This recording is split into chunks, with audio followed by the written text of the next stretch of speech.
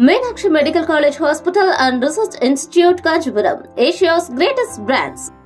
உடனடிய தமிழர்களுக்கு வணக்கம். பிரதமர் நரேந்திர மோடி சில நாட்களுக்கு முன்னால் அமெரிக்காவுக்கு சுற்றுப்பயணம் மேற்கொண்டே இருந்தார்.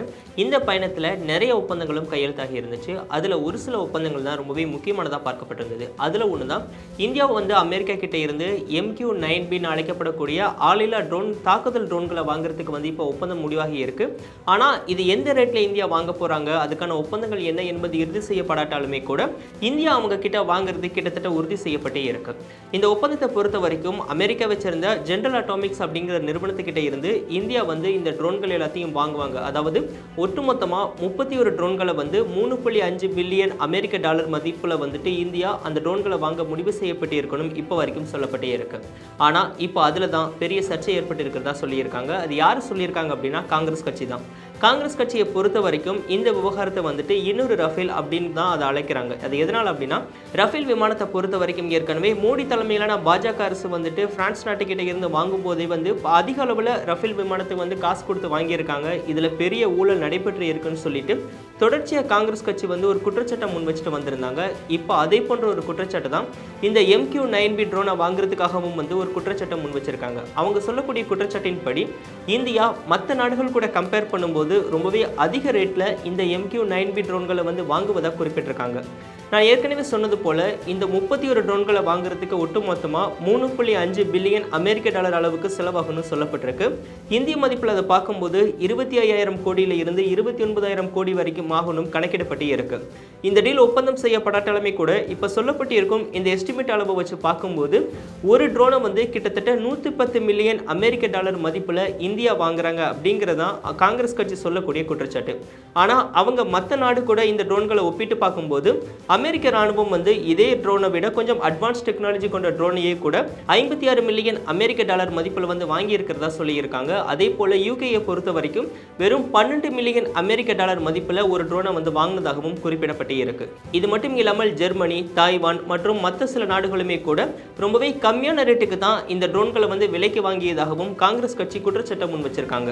ஸ்பெயினை பொறுத்த வரைக்கும் நாற்பத்தி ஆறு மில்லியன் அமெரிக்க டாலருக்கு ஒரு ட்ரோனை வாங்கியிருக்காங்க. அதே போல் ஜெர்மனியை பொறுத்த வரைக்கும் பதினேழு மில்லியன் அமெரிக்க டாலருக்கு ஒரு ட்ரோனையும் இத்தாலி மற்றும் நெதர்லாந்தை பொறுத்த வரைக்கும் எண்பத்தி இரண்டு மில்லியன் அமெரிக்க டாலருக்கு ஒரு ட்ரோனுங்கிற கால்குலேஷனில் வந்துட்டு இந்த ட்ரோன் எல்லாம் வாங்கப்பட்டதாக சொல்லப்பட்டிருக்கு.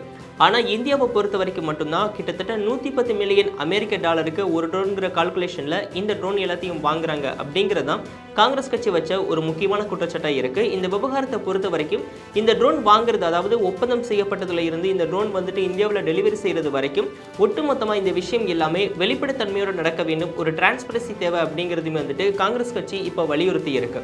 எப்படி ரஃபேல் விவகாரத்தை ஒரு மிகப்பெரிய பூதாகரமாக காங்கிரஸ் கட்சி எடுத்து கொண்டு போயிருந்தாங்களோ அதே மாதிரி இந்த ட்ரோன் விவகாரத்தையும் கூட எடுத்துகிட்டு போவாங்கணும் இப்போ எதிர்பார்க்கப்பட்டு கொண்டே இருக்கு. ஆனால் இந்த விஷயத்துக்கு வந்துட்டு இப்போ இந்திய ராணுவ தரப்புல இருந்து ஒரு பதிலடி கிடைச்சிருக்குன்னு கூட சொல்லலாம். அவங்க என்ன சொல்லியிருக்காங்க அப்படின்னா இந்த எம்கியூ நைன் பி ட்ரோனை வந்து வாங்குற விவகாரத்தை பொறுத்த வரைக்கும் இப்போ வரைக்கும் இறுதி ஒப்பந்தம் வந்துட்டு முடிவு செய்யப்படலை. இப்போ அதாவது அமெரிக்கா கிட்ட இருந்து இந்தியா வாங்குறது மட்டும்தான் முடிவாகி இருக்கு. ஸோ ஃபைனல் ஒப்பந்தம் வந்து போடப்படும் போது இந்தியா வந்து இன்னும் நிறைய நெகோசியேஷன் கொண்டு வந்துட்டு அதனுடைய ரேட்டை கம்மியாக்கிறதுக்கு நிறைய வாய்ப்புகள் இருக்கு. அதன்படி பார்த்தோம் அப்படின்னா இப்போ நூற்றி பத்து மில்லியன் அமெரிக்க டாலர் ஒரு ட்ரோனுக்காக அவங்க செலவிடுறாங்க அப்படின்னு பார்க்கும்போது வரும் காலத்தில் இந்த நெகோசியேஷன் மூலமாக வந்துட்டு தொண்ணூற்றி ஒன்பது மில்லியன் அமெரிக்க டாலருங்கிற அளவுக்கு வந்து அதை குறைக்கிறதுக்கு நிறைய வாய்ப்பு இருக்கணும்னு சொல்லியிருக்காங்க. இது மட்டும் இல்லாமல் இந்த ட்ரோன்கள் எல்லாத்தையுமே இந்தியாவில் தான் அசம்பிள் பண்ணுவதாகவும் கூட இந்த ஒப்பந்தத்தில் சொல்லப்பட்டு இருக்கு ஸோ அப்படி இங்கே அசம்பிள் பண்ணும்போது இதில் வந்து இந்தியாவினுடைய தொழில்நுட்பத்தை அதிக அளவில் பயன்படுத்தினாங்கன்னா அது அதுக்கான செலவினங்களை இன்னும் குறைக்க வாய்ப்பு இருக்கு. ஏற்கனவே இதில் இருக்கக்கூடிய ஒப்பந்தத்தின்படி இந்த ட்ரோனில் அதாவது இப்போ இந்தியா செஞ்சிருக்க ஒப்பந்தம் போட்டு அங்கே வாங்கக்கூடிய ட்ரோனில் வந்துட்டு எட்டுல இருந்து ஒன்பது சதவீத பொருட்களை இந்திய பொருட்களை பயன்படுத்த வேண்டும் அப்படிங்கிறது தான் இப்போ வரைக்கும் இருக்கக்கூடிய அக்ரிமெண்ட்டாக இருக்கு. ஆனால் இந்த அக்ரிமெண்ட் வந்துட்டு இந்திய பொருட்களை வந்து பதினஞ்சு சதவீதத்திலிருந்து இருபது சதவீதம் வரைக்கும் பயன்படுத்த வேண்டுங்கிற அளவுக்கு வந்து அதிகப்படுத்தணும்.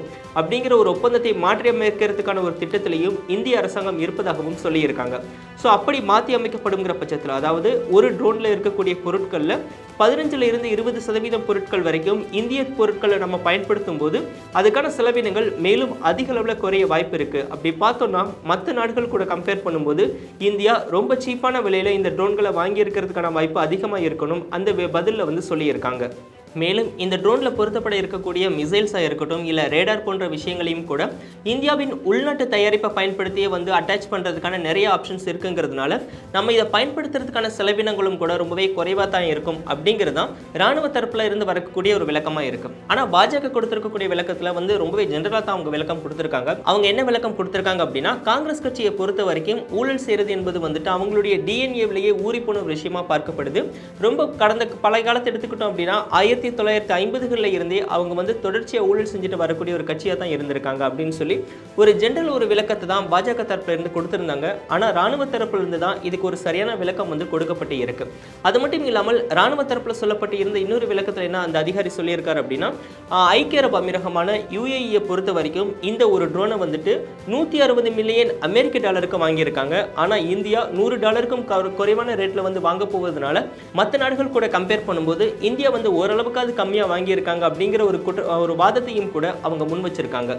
இந்த எம்கியூ நைன் பி ட்ரோனை பொறுத்த வரைக்கும் ரெண்டு வகையாக இருக்குது ஒன்று வந்துட்டு சி கார்டியன் இன்னொன்று வந்துட்டு ஸ்கை கார்டியன் இந்த சி கார்டியனை பொறுத்த வரைக்கும் கடல் மேற்பரப்பில் பறந்து போயிட்டு அங்கே இருக்கக்கூடிய கண்காணிப்பு பணிகள் அது மட்டும் இல்லாமல் கடத்தல் போன்ற விஷயங்களை கண்காணிக்கக்கூடிய வேலைகளிலும் தாக்குதல் போன்ற விஷயங்களிலும் ஈடுபடும். அதே போல் ஸ்கை கார்டியனை பொறுத்த வரைக்கும் நிலப்பரப்பில் வந்துட்டு அதிக அளவில் கண்காணிப்பு பணிகளை மேற்கொள்ளும்படியும் வந்து இது தயார் செய்யப்பட்டு இருக்கும். இந்தியா வந்துட்டு ஒட்டுமொத்தமாக முப்பத்தி ஒரு எம்கியூ நைன் பி ட்ரோன்களை வாங்குறாங்க. அதில் பதினஞ்சு சி கார்டியனும் பதினாறு ஸ்கை கார்டியன் கார்டியனும் பார்க்குறாங்க இந்த பதினாறு ஸ்கை கார்டியனில் எட்டு ட்ரோன்களை வந்துட்டு விமானப்படைக்கும் எட்டு ட்ரோன்கள் வந்துட்டு இந்திய ராணுவத்துக்கும் கொடுக்கப்படணும் கூட சொல்லப்பட்டே இருக்கு. இந்த முப்பத்தி ஒரு ட்ரோனுமே இந்தியாவில் வச்சு தான் அசம்பிள் பண்ண போறாங்க அப்படிங்கிறதுனால இந்த ஒப்பந்தம் ஒரு ஃபைனலைஸ் ஆகக்கூடிய ஒரு சூழல் ஏற்பட்டுச்சுன்னா முதல் கட்டமாக ஒரு பதினோரு ட்ரோன்களை வந்து இந்தியா அவசரமாக கேட்கறதுக்கான வாய்ப்பு நிறைய இருக்கணும். அதன் பின்னால் மீதம் இருக்கக்கூடிய ட்ரோன்களை கொஞ்சம் கொஞ்சமாக வாங்குறதுக்கான நடவடிக்கையில் அவங்க ஈடுபடுவாங்கன்னு சொல்லப்பட்டிருக்கு. இந்த ட்ரோன்கள் இந்திய ராணுவத்தில் சேர்க்கப்படுங்கிற பட்சத்தில் இந்திய ராணுவத்தினுடைய வலிமை மேலும் அதிகரிக்க நிறையவே வாய்ப்பு இருக்கு. ஏற்கனவே ரெண்டு sea guardian MQ nine B ட்ரோன்களை வந்துட்டு இந்தியாவினுடைய நேவி படை வந்து அந்த ஜென்ரல் அட்டாமிக்ஸ் நிறுவனத்துக்கிட்ட இருந்து லீஸ்க்கு எடுத்து பயன்படுத்திட்டே இருக்காங்க. அது ஒரு வருஷம் லீஸ்க்காக ஃபர்ஸ்ட் எடுத்திருந்தாங்க.